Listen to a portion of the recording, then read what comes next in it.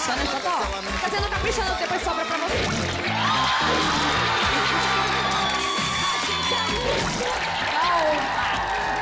Ok, vamos lá. Nath.